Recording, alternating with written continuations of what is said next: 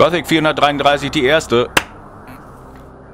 Ich hoffe, dass ich synchron bin mit meinen Lippen. Erstmal seid alle gegrüßt noch in diesem alten Jahr.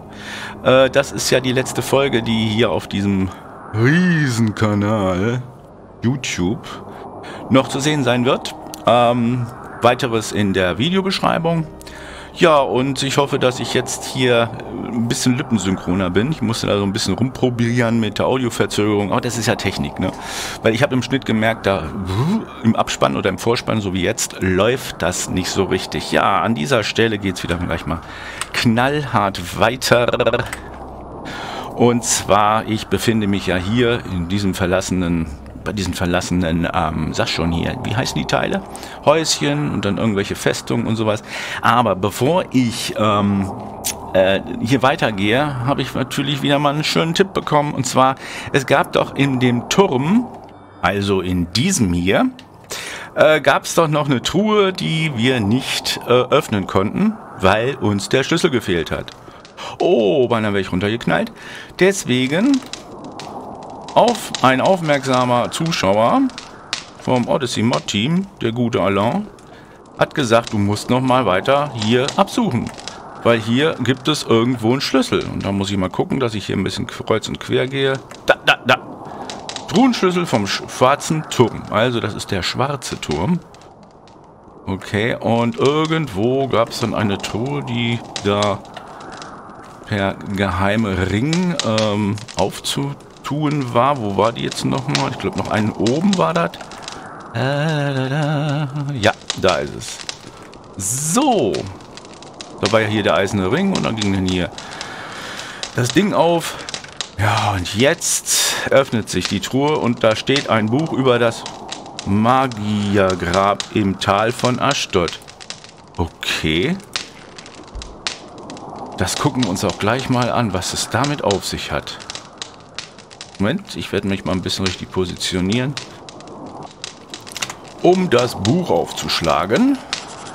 So, Seite 1. Baal Hanschars Grab. Endlich bin ich hinter dem Geheimnis der Schwarzmagier in Aschdod gekommen. In einem gut versteckten Nebental befindet sich die Grabkammer von Baal Hanschar, dem mächtigen Diener Belias, der in alter Zeit Varant beherrscht hatte. Die Tür der Grabkammer ist allerdings verschlossen und trotz aller magischer Künste ist es mir nicht gelungen, die Kammer zu betreten. Dass die Assassinen sich solche Mühe gaben, das Grab zu verbergen, hat bestimmt ganz besondere Gründe. Baal Hanshar war in früherer Zeit ein Meister der Nekromantie. Okay. Er war in der Lage, fürchterliche Armeen der Unterwelt zum Leben zu erwecken. Wenn es den Assassinen gelingen sollte, ihn auf irgendeine Weise wieder zum Leben zu erwecken, wäre dies eine Katastrophe für die Menschen im Min Miland. Midland. Ach so. Zardas. Aha. Interessant. Gucken wir uns dann nochmal das Logbüchle an. Äh, Bruderschaft des Schläfers. Moment. So, suche Xardas in Varant. Erfüllte Mission. Ähm, alten Turm entdeckt, richtig. Ich habe im Schwarzmagierturm, der sich in Westverrand befindet, ein Buch von Xardas gefunden. Er berichtet von einer Grabkammer bei Aschdod, wo ein mächtiger Diener Belias namens Baal Hanshir begraben sein soll. Dieser Diener konnte es äh, konnte, als er noch lebte, mächtige Untotenarmeen beschwören. Hängt vielleicht dieser Magier und sein Grab mit der Gefahr zusammen, die von der Untotenarmee ausgeht, die in Donschaks Brief erwähnt wurde? Oder hat Xardas sich dieses Wissen zunutze gemacht und ist er der Ur Urheber dieser Gefahr? Ich denke, dass ich bei den Schwarzmagiern in Aschdod mehr hierüber erfahren werde. In Aschdod. Und da wollen wir mal gucken, ob wir da hinkommen. Gut, jetzt geht es, stande Peter wieder zurück zu diesem verlassenen Ort, wo wir zu Beginn unserer Folge erstmal hier angefangen hatten. Ja, dann äh, schauen wir mal weiter. Hier habe ich alles abgegrast. Ich gehe mal hier so anti-clockwise. Ich, war ich hier schon unten? Komme ich hier Hier komme ich leider auch im knienden Modus nicht. Also im Schleichmodus nicht drunter. Okay. Dann schauen wir mal, was es hier so Gim tut. Gim tut. Es macht immer tut, tut. Ganz laut immer tut, tut. Ja. Ähm. Das sieht aus wie so eine, ja, so ein, ne, so ein Imbiss. Eine Kneipe. Kann man sehen. Leere Wasserflasche. Aber Wasserflasche leer. okay. Gucken wir mal, was uns hier oben befindet. Reichlich karg alles. Okay, drei Betten. Irgendwas dazwischen bei den Betten? Nö. Irgendwas hier in der Ecke? Nein. Truhe, die nicht verschlossen ist, die ausgeraubt worden ist. Ergo äh, würde ich mal sagen, dass hier wohl wirklich alle Leute ausgeflogen sind. In diesem Ort oder an diesem Fleck. Dann werden wir wohl, oder ich, oder alle, oder vier alle, ähm, wohl leere Truhen vorfinden, wenn es noch weiter welche geben soll. Das ist mal gut hier. Eine Gaube. Ne, da komme ich aber nicht hoch. Aua, mein Dates. Dates gestoßen. Ja. Oh, vom, vom Design her cool. So, was haben wir denn hier? Leere Wasserflasche zum Gießen. Aha, interessant. Äh, wie irre ist das denn bitte sehr? Ich bin Schlagzeuger mal gewesen naja, so Hobby-Schlagzeuger, eine Harfe, ein Schrank, den man öffnen kann oder was oder wie. Auch gut. Noch welche Instrumente drin? Nein, keine Instrumente drin. Was war denn hier noch? Manchmal, ah, Sumpfkraut. Da ist noch, ach, das ist eine... Sind das die Klamotten von den Extremo aus dem ersten Teil? Das würde mich, äh Oh, hier haben wir was. Eine Rekrutenrüstung und Gold. Aha.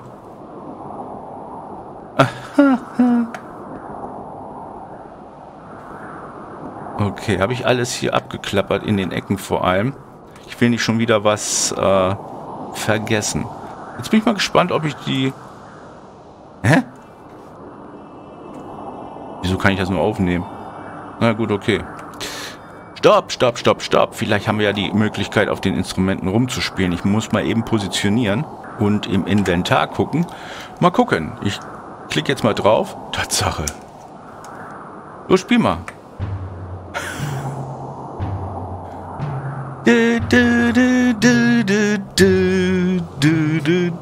Ein bisschen zu langsam für Herr Manelik, aber auch ist das cool. So, dann haben wir hier noch ein Cello. Mein Gott, wie spielst du das Cello? Nicht zersägen, spielen. so, dann haben wir hier noch die Drumscheit. Ja, das sind die Animationen von In Extremo. Da bist du wieder sanft im Streicheln, ne? So, ähm, was haben wir noch für lustige Musik? Ein Drumstick, aha. Den, okay, den kann ich nicht aktivieren, aber dafür haben wir noch die Harfe. Ja. Ah. Welch göttliche Sounds. So, Schluss gespielt. Genug gespielt, weitersuchen. Hermanelik, Hermanelik, da, da, da, da, da,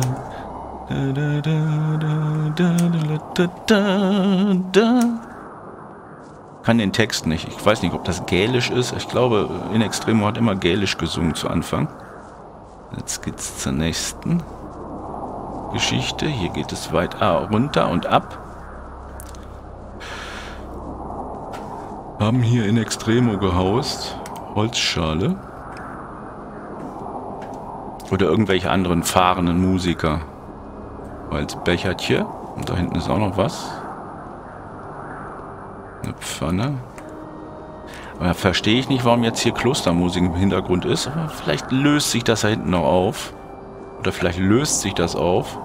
Weil das hier nämlich schon ein bisschen besser aussieht. Aber vielleicht sollte ich mal Wasserflaschen füllen. Immer kräftig pumpen. Los, pumpen, pumpen. Pump ab die Wasserflasche. 100 Wasserflaschen. Ach, das soll reichen. Ich gar nicht so viele Wasserflaschen haben. Yep. Uh, hier war ich, glaube ich, in der Folge, wo ich mal geguckt habe. Ja, kleines Weizenfeld. Ja. Vielleicht aber auch nicht. Stopp mal. Da ist noch was. Feldknöterich. Immer wieder gut. War hier oben noch gar nicht, oder? Miki, dein, dein Kopf. Ja, ich weiß. Guck mal. Spitzhacke.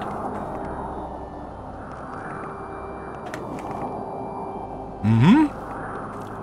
Und noch ein Kelch oder sowas. Und ein Holzbecher. Und eine Holzschale. Okay, also Grundnahrungsmittel.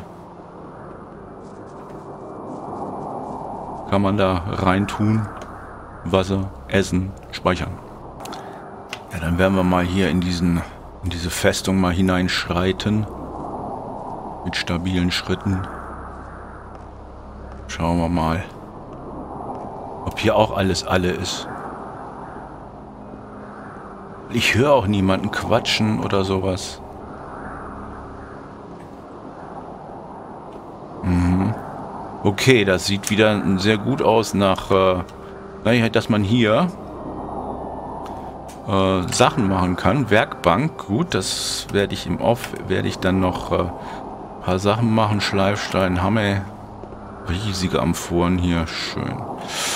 Okay, hier ist schon mal so, ein, so eine Art Werk, Werkstatt, die ist schön, die Werkstatt. Dann haben wir die Winde, lass mich raten, die lässt sich natürlich betätigen und, aha, am Hand des Schattens habe ich gesehen, also dass die äh, dass die Vorrichtung hierfür ist. Genau, richtig. Aber ich will ja auch wieder raus. Also weiter. So, ist wieder hochgegangen. Wow, wow, wow, wow, wow. Ähm, wohl denn gehen wir hier weiter. Und hier ist noch ein oberer Bereich. Äh, Moment. Was haben wir denn hier? Wieso komme ich denn hier nicht rein? Moment. Apfel. Hä? Bin ich jetzt Plät oder was? Wahrscheinlich komme ich von der anderen Seite rein. Also das ist... Weil hier ist kein Zugang. Wahrscheinlich von oben und dann irgendwie die Treppe runter. Ich kann das nur so mutmaßen. Ähm, ja. Aha, hier geht es noch weiter rum da entlang dieses Weges. Dann äh, gucken wir erstmal hier weiter. Bist du ein Gerbbaum? Nein, bist du Gerbbaum nicht. Äh, Feld zum Trocknen. Gestell.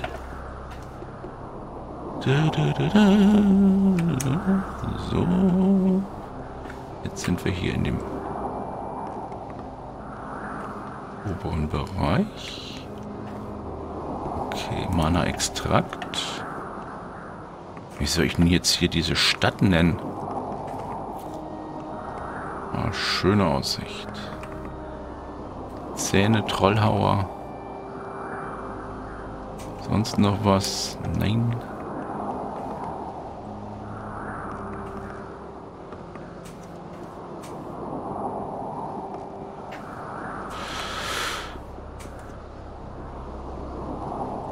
sehr lustig hier. So, dann haben wir mal hier den Bereich schon mal durch. Bist du dann wieder so ein Wasserfass? Mit, ja, Tatsache. Null Lebenspunkte. Ja, ich bin ja voll aufgefrischt. Okay, äh, auf der einen Seite geht es hier nochmal hoch.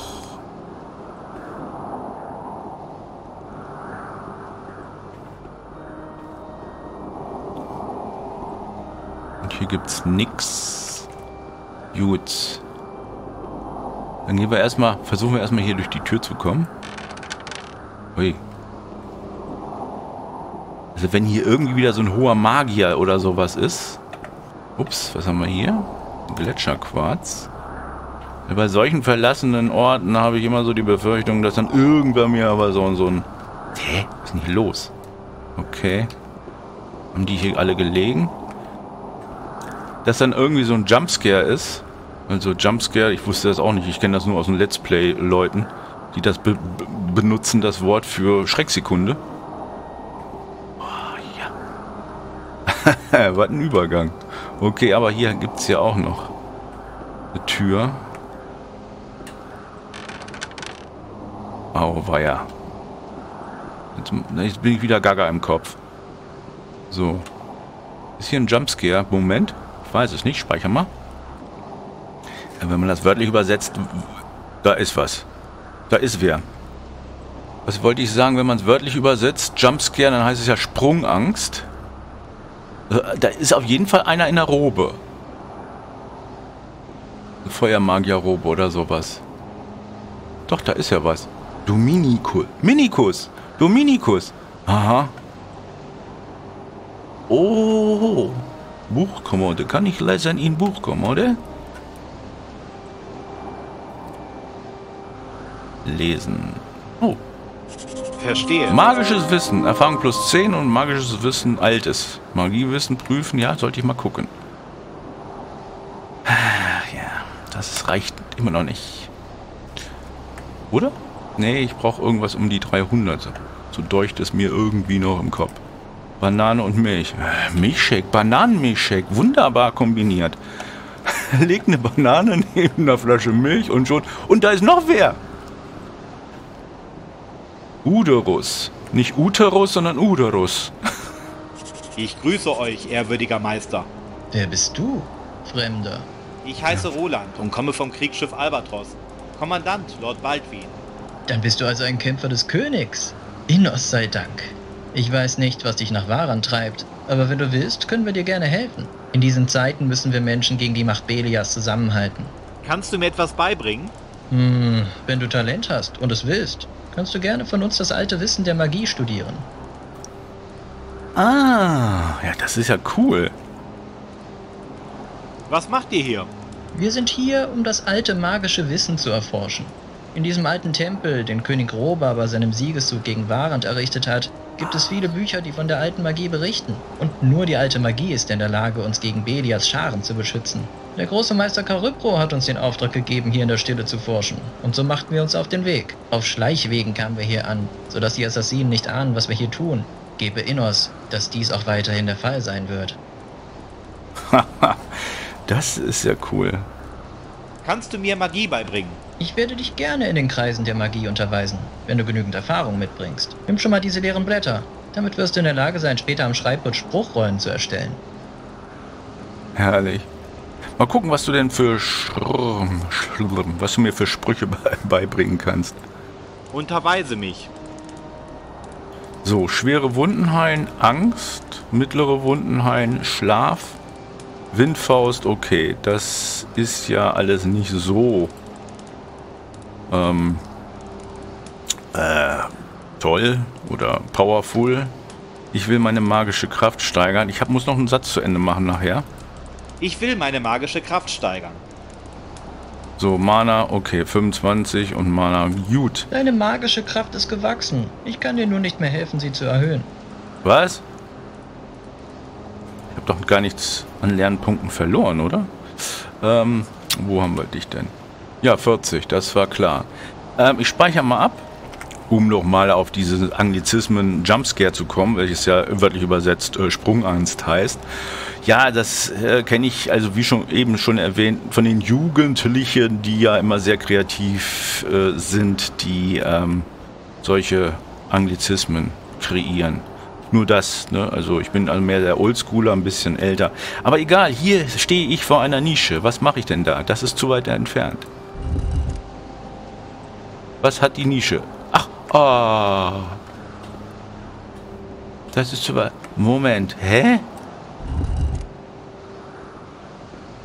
Stand das Ding schon vorher da? Nee, ne? Okay. Okay, okay. Dann lass uns doch mal mit Uderus sprechen. Mein Name ist Roland. Ich bin ein Paladin des Königs. Und was tust du hier? Ich bin in einer besonderen Mission unterwegs. Aber mehr darf ich hierzu nicht sagen. Verstehe. Sei mir willkommen, Ritter. Mein Name ist Uderus. Verzeih mir. Ich kann mich leider nicht so viel mit dir beschäftigen, da ich in meinen Studien vertieft bin. Was studierst du, Meister? Meine Forschungen beziehen sich auf das Feuer, die Macht Innos. Es ist ein Geschenk und zugleich eine mächtige Waffe.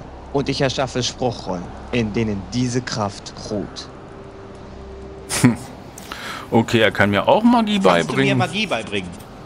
Du bist ein Streiter Innos und kämpfst gegen das Böse. Aus diesem Grund wäre ich gerne bereit, dich zu unterrichten. Allerdings beschäftigt uns ein Problem, das wir unbedingt lösen müssen. Aus diesem Grund werde ich nicht die Zeit haben, dir etwas beizubringen. Was für ein Problem habt ihr? Wir Magier sind hier an diesen Ort gekommen, um das alte Wissen zu erforschen.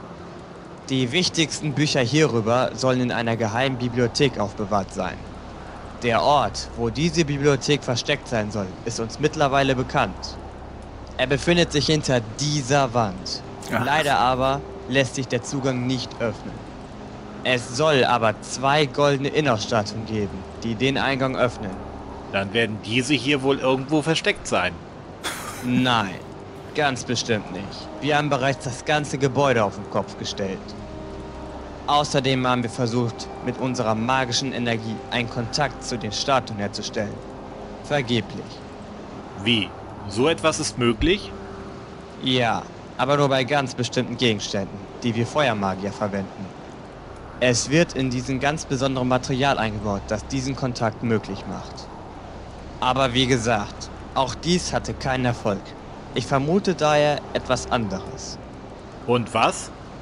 Als wir hier ankamen, haben sich im Hof einige Banditen herumgetrieben. Sie haben sich sogleich aus dem Staub gemacht, als sie uns erblickten. Ich nehme daher an, dass diese die Statue mitgenommen haben. Es kann aber auch sein, dass die Goblins die Gegenstände geraubt haben, da sich mehrere von ihnen in der Burg aufgehalten haben. Wer weiß, wo sich jetzt die beiden Statuen befinden. Man muss wahrscheinlich das ganze Tal nach ihnen absuchen. Ach, es ist zum Verzweifeln. Okay. Wie kommt es, dass ihr nicht von den Assassinen belästigt werdet? Die Assassinen meiden dieses Gebiet, seitdem so viele Räuber hier ihr Unwesen treiben. Die schwarzen Magier haben das Tor nach Ashdod schließen lassen, damit kein Unbefugter in das Tal gelangen kann. Der Handel zwischen Ishtar und Ashdod erfolgt daher jetzt ausschließlich über die Küste. Dieses Gebiet interessiert niemanden. Die Assassinen von Ishtar haben andere Probleme, als sich diesem trostlosen Tal zu widmen. Wie weit ist es noch bis Ishtar? Weiter nördlich gibt es einen Weg hinter die Berge. Dahinter kannst du die Stadt bereits sehen. Okay. Oh, ein Händler. Oh, ich kauf mir Zeig was. mir deine Ware. Ich kauf mir was. Kaufen macht einen Riesenspaß. Ich könnte ständig kaufen gehen. Oh Gott, ich und Grönemeyer, das klappt nicht. Ja, äh, ich suche mir mal was Leckeres aus. Wie viel habe ich denn hier? Äh, 28.000 und melde mich dann wieder, wenn ich hier mal ein bisschen konsumiert habe. Ganz wichtig. Westwaran Teleport zu Robas alter Burg. Also, das ist Robas alte Burg. Golem erwecken, falls mal irgendwie wieder so eine Gruppe ist, wie so Wüstenräuber, dass ich die ablenken kann. Das ist ganz wichtig. Hier gibt es noch Karten und zwar eine Variation Karte von Vanguard Süd. Die habe ich mir jetzt auch mal gekauft. Ja, und Laborwasserflaschen natürlich, die dürfen nicht fehlen. Die brauchen wir jede Menge, damit wir wieder ein bisschen was machen können. So, geweihtes Wasser habe ich selber noch genug. Ja, dann hier noch ein jo, Schwefel, Gletscherschwarz, Gletscherschwarz, mm, Gletscherschwarz. Gut, dann gucken wir mal auf die Karte. Uno momento. Ein bisschen gesucht im Inventar und hier haben wir sie. Karte von Vanguard Süd. Nicht Warrant, Vanguard Süd, okay. Werde ich angezeigt. Das ist wieder alles so sehr grell und hell. Aha. Okay, es gibt nur eine Karte von Vanguard Süd. Schauen wir mal weiter. Nee, ich sehe mich nicht, aber da oben ist was Buntes, Rotes. Hm. Ach, das... Hä? Oder ist das der Alpha-Kanal? Ein Moment. Ja, das ist oben von, von der Energieleiste von Udorus. Ja, und ich sehe ja wieder eine neue Nische. Also hier ist... Und ich kann mir vorstellen, dass wir hier... So. Ach, ach, wie lustig. Super, hinter dieser Wand, sag mal, Uga. Uga. Uderus, wie komme ich denn jetzt auf Uga? Ha, herrlich. Ähm, ich gucke mich aber noch weiter hier ein bisschen um, weil äh, vielleicht gibt es ja noch ein bisschen mehr hier zu sehen und zu looten. Herrlich, herrlich, herrlich. Ach, hier. Ah, das ist das Kuppelteil, was ich von, von unten gesehen hatte. Ha, ha, ha, ha. Ja, also das ist natürlich ein ruhiges Fleckchen, wo die Feuermagier sich schön aufhalten kann, können. Einfach so gemütlich da rumhocken. So. Herrlich. Nachher haben die auch noch irgendwelche tageszeitabhängigen äh, äh, Tätigkeiten. Ich weiß es nicht. Könnte ich ja mal ausprobieren. Apropos Tageszeit. How late we haben es? Oh, 22 Uhr. Okay. Oh, weia, oh, weia, oh, weia. Doch, da passiert was. Da rennt schon mal einer weg. Hey, wo bist denn du hin? So, okay. Ignatius macht sich schon mal Bett fertig. Oh, da ist eine Truhe. Und äh,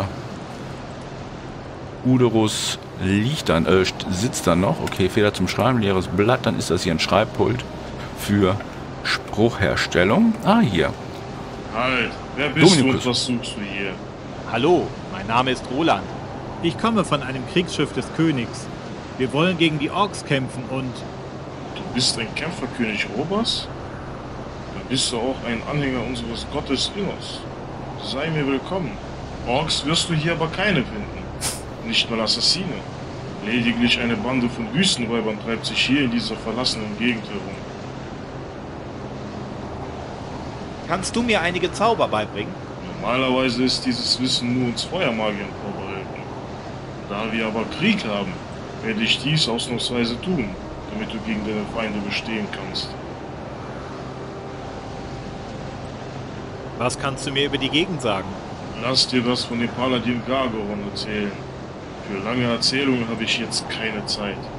Ich muss noch einige Tränke brauen und hierfür noch einige Pflanzen besorgen.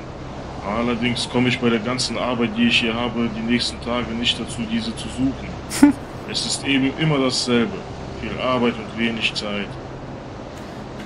Ja, dann kann ich ihm doch helfen. Aber was macht er für Spruchrollen? Das ist mal wichtig. Dämon beschwören, Golem erwecken. Ah, auch gut. Äh, Skelett erschaffen, Wolf rufen, Goblin-Skelett erschaffen. Okay, okay. Dann frage ich ihn mal, inwieweit ich ihm einige Kräuter bringen kann. Das wird sein. Kann ich dir helfen? Ja. Wenn du mir bei der Kräutersuche helfen kannst, wäre ich dir sehr dankbar. So, was brauchst du denn? Ich muss jetzt auch nicht alle Pflanzen suchen, die ich brauche. Mir genügt es, wenn du mir die wichtigste Zutat bringst. Ich brauche ganz dringend Mondschatten. In diesem Kraut benötige ich etwa ein Dutzend. Was? Mondschatten? Und wo kann man diese Pflanzen herbekommen? Du findest Mondschatten oft in Höhlen. Hier in der Gegend gibt es drei oder vier Höhlen, wo du fündig werden kannst. Pass aber auf, diese Höhlen werden auch oft von wilden Tieren bewohnt. Es ist also nicht ungefährlich, nach den Pflanzen zu suchen. Okay, Mondschatten brauche ich. Geheime Bibliothek. Ich habe zwei goldene Innerstatuen gefunden. Mal schauen, ob es die richtigen sind. Ich sollte Uderus fragen oder sogleich die Bibliothek öffnen. Habe ich gemacht. Dann, äh, dann die Pflanzen für Dominikus. Zwölf Pflanzen Mondschatten. Muss ich später gucken, ob ich die habe. Ich möchte noch in dieser Folge äh, auf jeden Fall erstmal hier mal die ganzen ähm, Elemente hier zeigen. Was haben wir denn hier? Buchkommode. Ich kann hier noch was lernen bestimmt. Genau. Verstehe. Schön. Gibt es hier irgendwie noch was? Lehrbuch der Magie. Gut. Irgendwas hier noch versteckgedeiht? Nein. Kann ich denn auf der Seite auch was lesen? Ja, kann ich. Verstehe. Wunderbar. Lehrbuch der Magie kann ich ja nochmal nachher aufmachen. Ja, und wenn wir schon hier sind, dann kann man ja auch mal eine Runde bei der Innerstatue beten.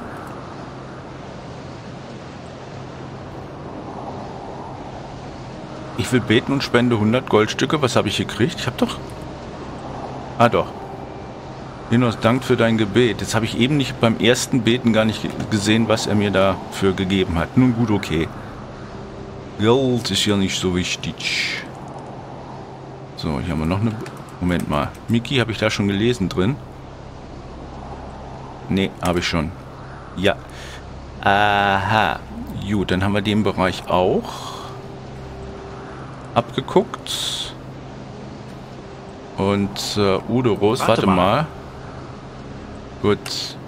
Dann wird wahrscheinlich die Quest oder sein Dialog erst aktiviert, wenn ich hier runtergehen sollte. Und zwar in die alte Bibliothek. Diese alte geheime Bibliothek. Die ah, sieht aus wie im Haus The Monsters mit Fred Gwynn. ist voller Spinnweben. Schön.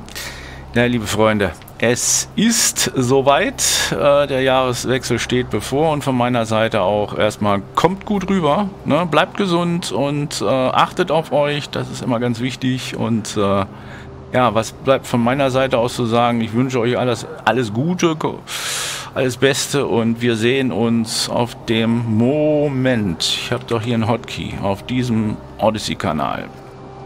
Denn da geht's weiter, nicht mehr auf YouTube, denn ich habe ja in den Videokommentaren auch ein Erklärvideo dazu ähm, gemacht, warum und weswegen. Und viele Kollegen äh, haben auch schon gesagt, nee, die wollen auch nicht mehr weitermachen. Ja, dann ähm, ciao, macht's gut. Bis zum nächsten Mal. Tschüss.